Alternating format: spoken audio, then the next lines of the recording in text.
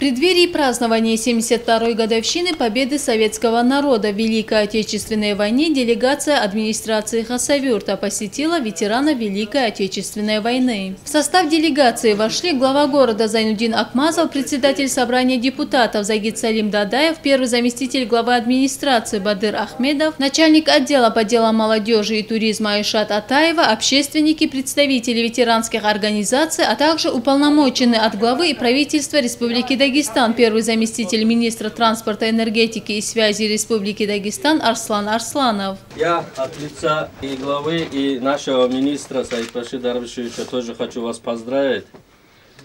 Спасибо. Он сегодня в Казбековском районе уполномоченный, э, поэтому он просил передать э, свои поздравления Крепкого здоровья вам и всего самого наилучшего.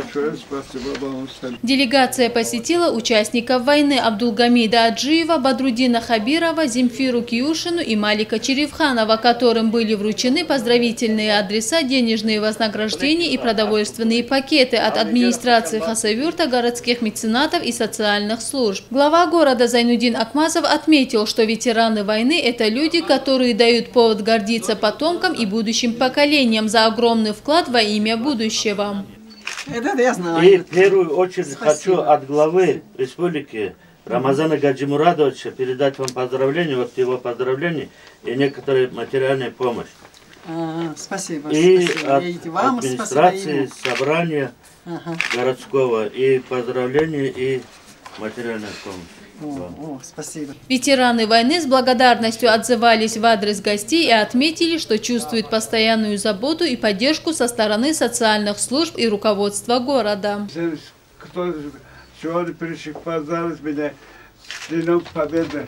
Хочу вам всем здоровья, счастья, желаю успехов всем, начиная с младших до старших родственникам, близким, они чтобы всегда были разные оптимистские настроения, что были. Каждый из присутствующих выражали благодарность участникам войны за самый великий подвиг. Ведь смелость, упорство, духовная сила советского народа помогли пережить войну и, не боясь пули врагов и смерти, подарить будущему поколению спокойную и благополучную жизнь. И сегодня никто не имеет права забывать о тех, кто без вести пропал на полях сражений, трудился в тылу, кто в холод и стужу потом и кровью приближал победу. Зарема Хайбулаева, Самат Гакаев, информационная программа «Пульс».